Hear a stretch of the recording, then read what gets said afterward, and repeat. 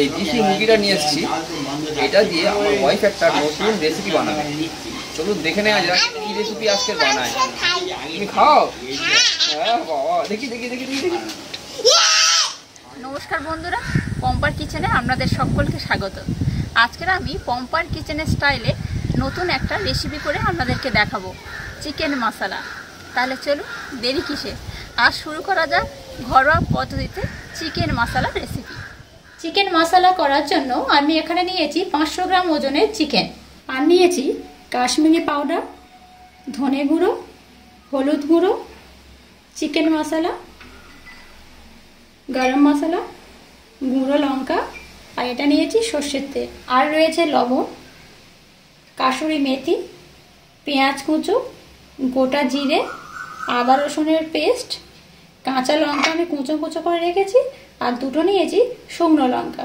আর এটা রয়েছে tomato paste.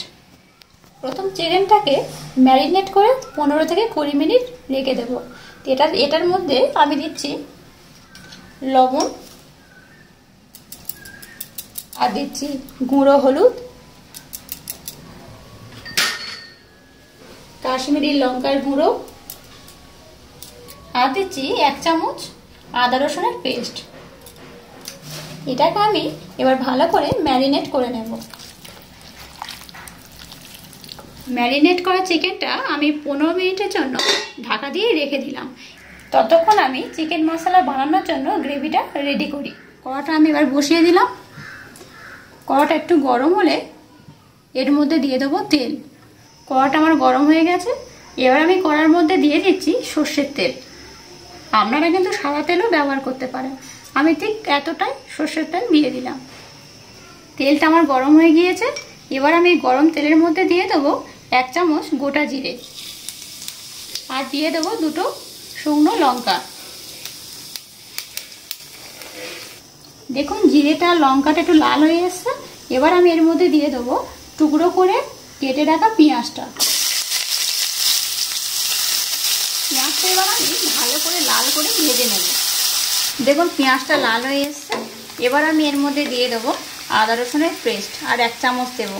আগে দিয়েছিলাম এক চামচ, যখন ম্যারিনেট করতে দিই, আর এখন দিচ্ছি এক চামচ। এবার এটাকে ভালো করে নাড়ানাড়ি করবে, যতক্ষণ না পেঁয়াজটা ব্রাউন কালার আসছে। দেখুন, পেঁয়াজটা আমার হালকা ব্রাউন কালার চলে এসছে। এবার আমি এটার মধ্যে সামান্য অল্প জল দিয়ে দেব।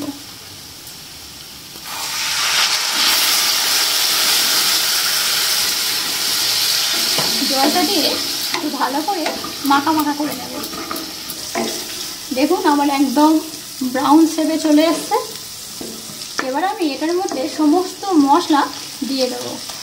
প্রথম দিয়ে দেবো টমেটো পিউরিটা। দিয়ে দিচ্ছি কাশ্মীরি লঙ্কার গুঁড়ো এক চামচ।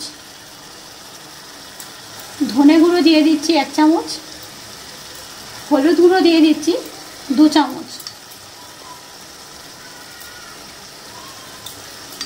দিয়ে দিচ্ছি এক চামচ চিকেন মশলা,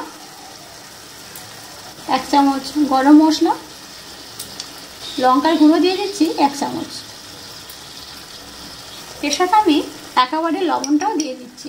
লবণটা আপনারা আপনাদের পরিমাণ মতো দেবেন। এবার এটাকে ভালো করে মিক্সড করে নেবেন এবং এটাকে গ্রেভি বানাবেন। এবার যে আমি গ্রেভিটা বানাচ্ছি, এটাকে আমি এক মিনিটের জন্য ঢাকা দিয়ে রাখব। সমস্ত মশলা দেওয়ার পর আর কিন্তু জল দেবেন না। এবার আমি এটাকে এক মিনিটের জন্য ঢাকা দিয়ে রাখব, যাতে যে টমেটো পিউরি দিলাম, তার গ্রেভিটা আস্তে আস্তে তেল থেকে ছাড়বে।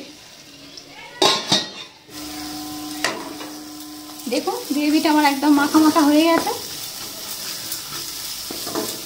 এবার এটার মধ্যে আমি ম্যারিনেট করা চিকেনটা দিয়ে দেবো।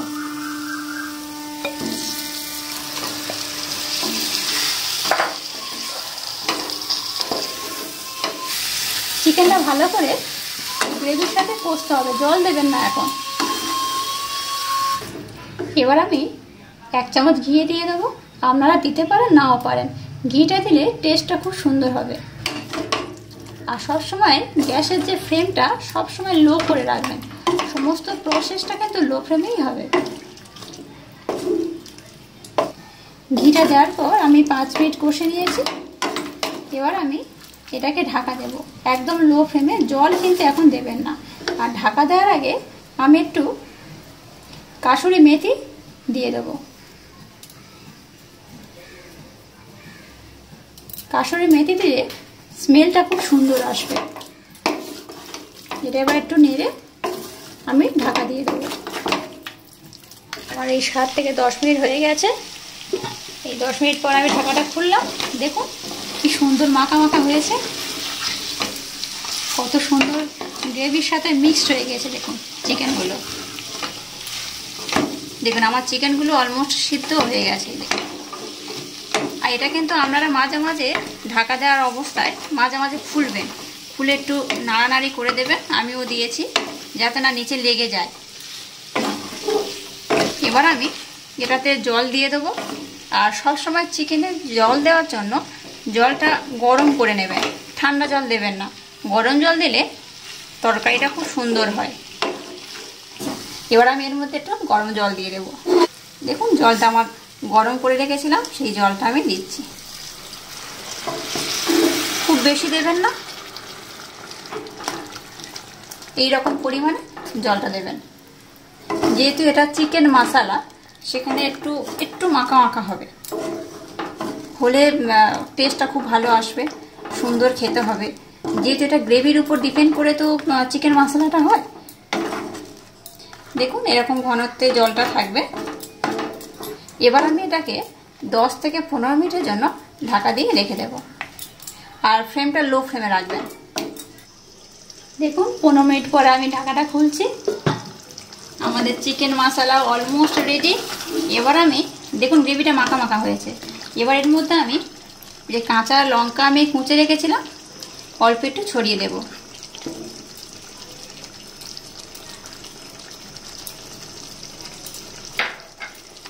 এটা দিলে দেখতেও সুন্দর হবে আর কাঁচা লঙ্কার যে একটা ফ্লেভার থাকে, সেটা লাগবে, ভালো লাগবে খেতে।